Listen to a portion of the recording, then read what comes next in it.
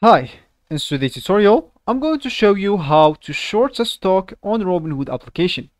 So, first of all, of course, you would like to go and actually download Robinhood application on your phone. Of course, if that's if you don't have it. You can do that through Play Store if you have an Android, App Store if you're using an Android, uh, sorry, App Store if you're using an iPhone, or any other store you could be possibly using. Then you would like to go and actually sign up to create your account. Of course, that's if you don't have an account.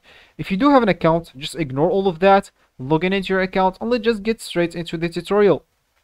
So here, let me just go and open my Robinhood application, as you should, of course, if you want to follow this tutorial steps.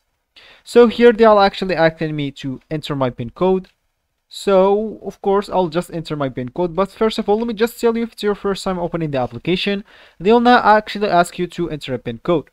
But if it's not your first time, all you need to do is uh, just set a PIN code. So, of course, the second time you'll open the application, they'll actually ask you to set a PIN code.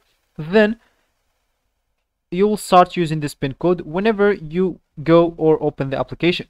So for me, my PIN code is just four zeros as you can see when I type that the application opens and this will be actually my home or my main screen.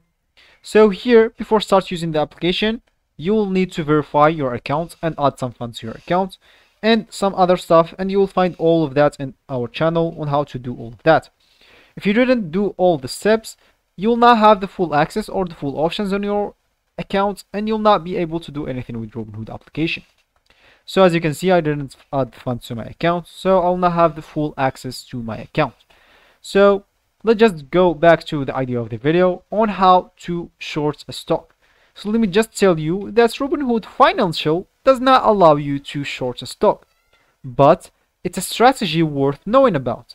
Essentially, shorting something simply means you've sold something you down you don't own, which can take new traders by surprise.